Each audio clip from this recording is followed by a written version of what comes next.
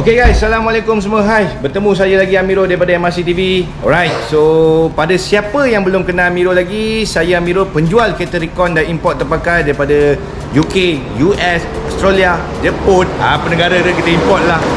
Tapi kita lebih spesifik kepada Jepun dan UK spec. Okay, so hari ni saya nak demo satu unit Dan saya nak review lebih detail sikit satu unit kereta Iaitu Mercedes A45 Alright So Mercedes A45 ni adalah Satu kereta yang saya rasa Kegilaan anak muda masa kini Dan saya rasa Mostly Orang muda yang berjaya Yang membuat bisnes Saya rasa Aim dorang A45 Dan dorang dah capai. Ada segelintir dah capai Dan ada segelintir yang masih Susun dokumen Cantik-cantik Sabar sikit. InsyaAllah one day korang akan dapat. Okay. So guys, so pada yang belum follow channel YouTube saya, so please follow dan subscribe channel YouTube saya dekat bawah MRC TV dan jangan lupa tekan loceng sekali. Alright, so dalam video kontes kali ni saya akan sebut perkataan A45. Daripada sekarang saya sebut A45 berapa kali sampai habis. Siapa dapat jawab dalam masa sejam saya launch video saya ni, saya akan bagi free t-shirt pada korang semua. Stay tune. Alright.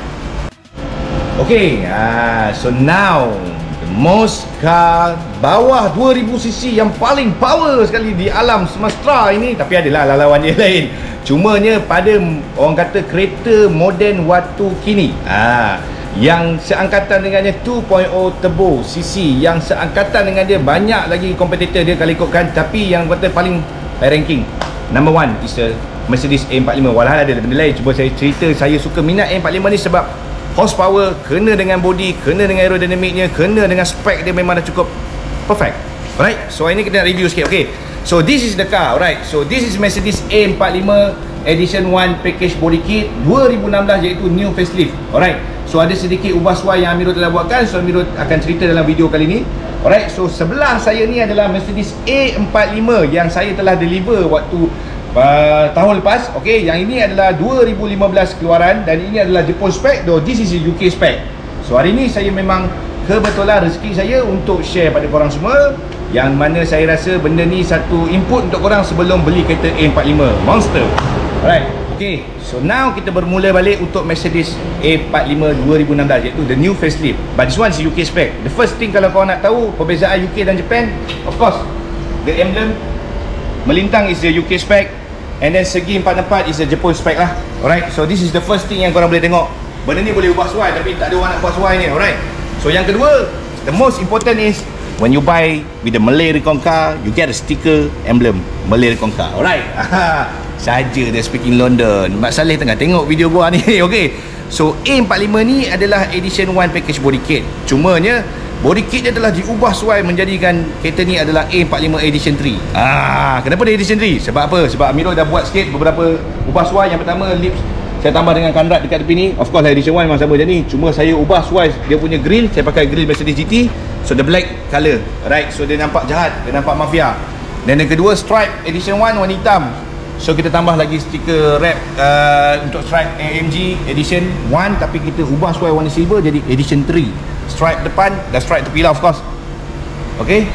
Then the third thing customer daripada UK so telah buat spray dia warna hitam. Kalau ikutkan asal dia warna uh, macam silver matte macam sebelah ni. Alright? The colour tapi design this is one is design the old facelift. So this is a new facelift alright? So 2016 okay?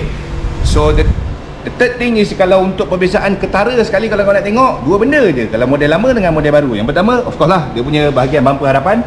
Alright. Senyum dia tu lain. Yang kedua uh, the feminine one. So ni yang the body kit bumper daripada 2015 punya. 2013, 2014, 2015 so 2016 kat atas macam ni lah. 2020 janganlah. Tu dah lain dah. 2019 silap. Ok ok guys so now kita berada di bengkel uh, sahabat saya di Sungai Besi Setu Razak AMD Auto Service so now kita akan servis kereta ni uh, sebelum kita serahkan kereta ni kepada customer kita akan buat satu kali servis Okay. So satu kali servis ni kita akan buat dekat uh, AMD. Kita tukar minyak hitam full uh, fully synthetic. Kita tukar minyak hitam original Mercedes and then yang kedua kita tukar minyak gearbox lah. Kita servis dua benda item ni.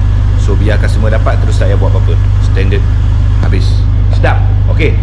So now kita dengan inspect dengan EasyCare. So untuk buat proses untuk warranty setiap kereta yang akan di warranty pasti akan di inspect. So officer EasyCare akan inspect. Ah uh, nampak? inspect kereta. Sebelum tu kita nak tunjuk sikit bahagian enjin. So this is bahagian enjin A45 So bahagian enjin A45 ni adalah idaman semua anak muda. Tebur dia bapak besar dia. Kalau nak tebur lagi besar lagi pun boleh Tak ada masalah. Modified tebur So yang kedua Kita nak buat minyak hitam Minyak gearbox. So tengok apa-apa patut lah. Tengok dia punya tebur Tengok dia punya wastegate So this is A45 ha, Kebetulan ada dekat sini. Okay Kawan saya Abang Arai. So dia beli A45 dengan saya 2 tahun lepas. Tahun lepas ke 2 tahun lepas Okay So dia akan upgrade kereta dia ke stage 2 So kita akan tengok perjalanan kereta ni Pergi ke stage 2 Macam mana dia punya beza step by standard ke stage 2 Ada tak beza dia punya orang kata performance dia? Uh, Alright. So now Kita nak tengok sikit uh, So korang tengok video ni Abang akan cerita sikit demi sikit lah Follow channel MRC TV kat bawah.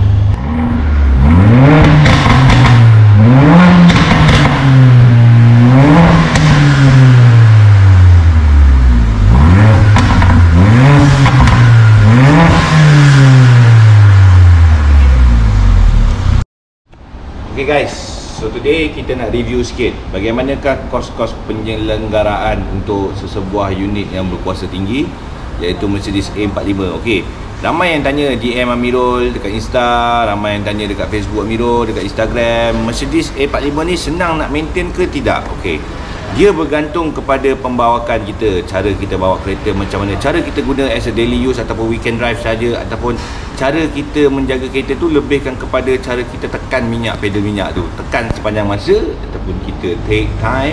Bagi kita tahu konsep turbo ni dia lain sikit dengan NA ni konsep. Okey.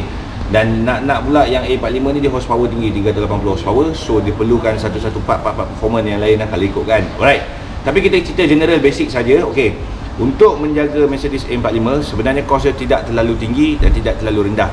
Bergantung kepada bajet customer okey dia ada dua. Okey dua cara ni Amirul akan tunjuk. Okey sama ada kita pakai original Mercedes Malaysia ataupun original Malaysia, uh, original Mercedes from Jerman okey yang kedua kita boleh kacuk sikit barang-barang dia yang setempat yang kita rasa macam oh ni tak payah pakai ori pun tak apa ni pakai aftermarket pun boleh. Sebab ada uh, brand-brand yang aftermarket yang saya rasa lebih kurang dalam market ada banyak juga yang boleh setanding dengan Mercedes punya kualiti. Ha, cuma tak ada chopmer saja alright so sebelum tu saya nak review sikit ok yang pertama kalau kita tengok kat sini ok untuk minyak hitam kita akan pakai uh, minyak hitam yang jenama GTO ok GTO ni adalah brand US alright? So minyak hitam GTO ni kita pakai 530 ok fully synthetic ok yang ni yang paling mahal ni premiumnya alright? So kita pakai minyak hitam ni pakai 6 liter. So 2 botol Okay, so minyak hitam ni optional sama ada kau nak pakai brand lain ke, Liqui Moly ke ataupun ada brand uh, Mobil One ke terpulang kepada customer. Cuma uh, Mirul maintain dekat kawan saya ni AMD Auto Service. Mostly kebanyakan kereta Continental memang kita akan suggest semua ambil GTO sebab bila kau tukar kepada GTO punya minyak hitam ni dia akan rasa lain sikit. Dia akan rasa sedap dengan dia rasa smooth sikit. Bagi saya lah bagi sesetengah individu tak kisah mana-mana je. Alright yang kedua, kita akan buat full service untuk gearbox. Okey, untuk service gearbox full service ni kita apa kita akan buat? Kita akan tukar minyak hitam dia, okey. Minyak hitam dia menggunakan 5 liter. So minyak hitam original Mercedes, okey. Apa-apa kereta kalau minyak hitam korang boleh pakai apa-apa brand gear oil. Tapi kalau untuk minyak gearbox pakailah original brand dia balik. Contoh beli Toyota pakailah Toyota punya. Kalau beli Mercedes pakailah Mercedes punya. Alright. So pakai balik dia punya brand original balik asal. Okey, kita pakai 5 liter. Okey. So yang kedua kita akan tukar uh, dia punya oil filter. Okey, oil filter ni optional. Sama ada kau nak pakai Bosch ataupun pakai original Mercedes. Alright. So benda ni optional saja pada customer sebab kualiti sama. Cuma beza logo je. Alright. Okey, yang kedua kita akan tukar gasket dia juga. Bila tiap kali kita buat full service kita akan tukar gasket dia juga. Alright. Yang ketiga Okay. So yang ni adalah uh, Auto filter punya Filter juga yang bagian atas punya Alright Untuk gearbox punya. So yang ni Mercedes part original Okay. Yang keempat Kita akan tukar dia punya auto filter Okay. So auto filter ni kita akan tukar. So sebenarnya kalau untuk servis Yang paling mahal sebenarnya Menatang ni. Ha. So ni yang paling mahal. Even though kalau kita buat fire apa benda ke Yang ni adalah yang paling mahal Nak tukar auto filter ni Okay So filter ni benda-benda part yang memang kena beli original. Tak boleh pakai sebarangan cokia, cak ayam, aftermarket Tak boleh pakai. So kena beli original. Okay Even though korang kacuk kereta korang A180 ke A45 pun pakailah original Okay So senang. Alright? So ini adalah sedikit sebanyak. So kos penyelenggaraan dia lebih kurang uh, minimum RM1,000 Maksimum pun RM2,000. Bergantung kepada brand Bergantung kepada part-part apa yang korang tukar lah. Alright? So ini adalah kos-kos penyelenggaraan dia. Dan korang boleh semak dengan Melira Kongkar punya team MRC TV Uh, tinggalkan di ruang komen di bawah so korang akan tengok dan belajar cara untuk maintenance servis A45 okay stay tune guys